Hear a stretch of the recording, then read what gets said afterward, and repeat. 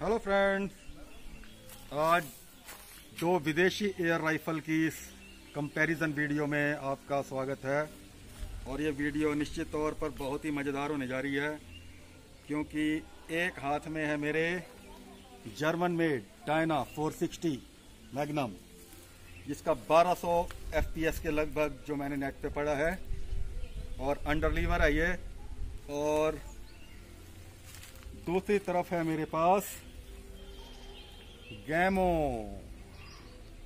जिसकी हमने पीछे एक वीडियो डाली थी, बिग कैट। और टारगेट रहेगा हमारा। एक डायरी है मोटी हमारे पास।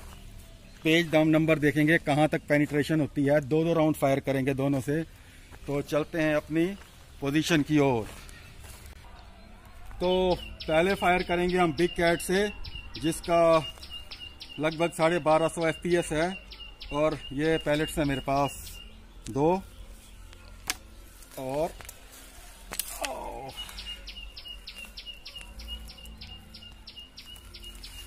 ये पैलेट डाल दिया। लगभग डिस्टेंस रहा हमारा पंद्रह मीटर।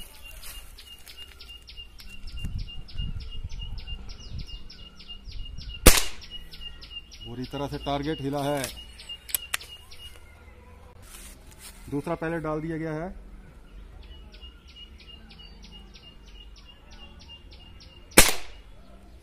चल के देखते हैं क्या हुआ है। तो ये देखेंगे हम, ये एक पैलेट तो बाहर रुक गया इसका, और ये दूसरा इसे काफ़ी मोटा गत्ता है ये। और ये पैलेट में एक्सपेंशन काफ़ी हुई है इसमें। और ये डैमेज दिया है इसने। अप्रैल 14 14 अप्रैल तक। तो अब दूसरी गन से फायर करके देखते हैं। इस पैलेट की एक्सपेंशन काफ़ी ज़्यादा हुई। है शायद इस वजह से इसकी पेनिट्रेशन कम हुई है थोड़ी। चलो दूसरी गन से देखते हैं अब। ये तो लगी जाना पता अब मेरे हाथ में है जर्मन में डायना 460 मैग्नम और पहले डाल दिया गया है इसके अंदर। और ये बंद। और ये सेफ्टी हटी हुई है। अब इससे फायर करेंगे।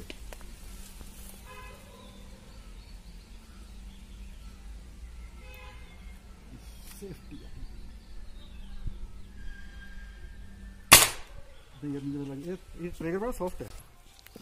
अब दूसरा राउंड डालते हैं। काफ़ी ज़ोर लग रहा है इसको चलाने कॉकिंग एफर्ट काफ़ी है इसमें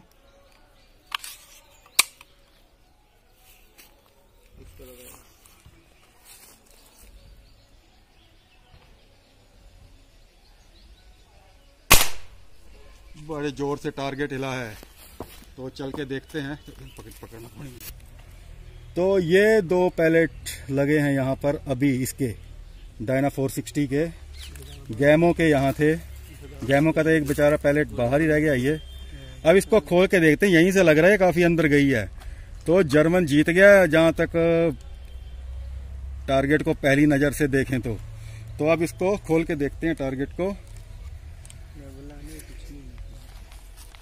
अरे अरे अरे तो ये देखेंगे हम, ये इसने निश्चित तौर पर बहुत ही आगे चली गई है, ये बहुत ही आगे। ये जर्मन ने स्पेन को हरा दिया यहाँ पर, जबकि जबकि कुछ लोग इस बात पे कहते हैं कि एफपीएस की बात करते हैं एफपीएस ज़्यादा। तो ज़्यादा एफपीएस तो 1250 इसका बता रहे हैं कुछ जगह पढ़ा मैंने बिग कैट का। जबकि इसका डायना का जो है 460 का ये है आपका 1200 लेकिन ये देखो कितने आगे तक गई है। वो था हमारा 12 अप्रैल मेरे ख्याल। 12 अप्रैल तक कहाँ तक था वो? जो गैमो का था जबकि ये पहुँच गया आपका जून तक 21 जून तक। तो निश्चित तौर पर इसका डैमेज यहाँ से पता लग रहा है। कितनी बुरी तरह इसने इसको फाड़ा हुआ है। तो निश्चित तौर पर इन दो गन्स में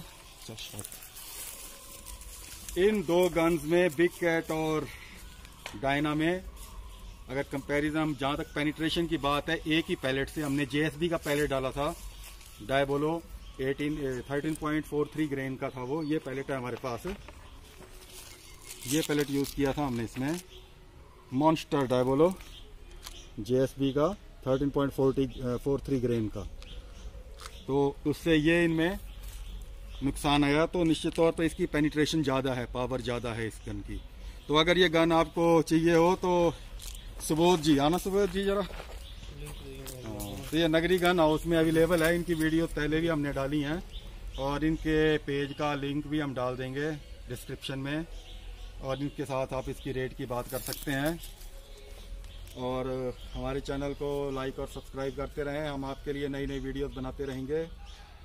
तो धन्यवाद सुबोध जी।